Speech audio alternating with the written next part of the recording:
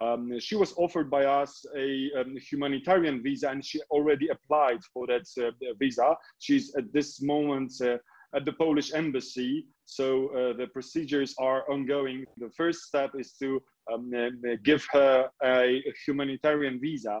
Then, uh, when she, uh, that would be her decision to apply for a asylum or international um, protection, then we'll start the whole procedure. But at this very moment, she is uh, um, under, um, uh, she's at the Polish uh, embassy, um, safe and in a, a, quite good condition. Uh, although the whole situation, um, of course, uh, um, had a quite negative footprint on her.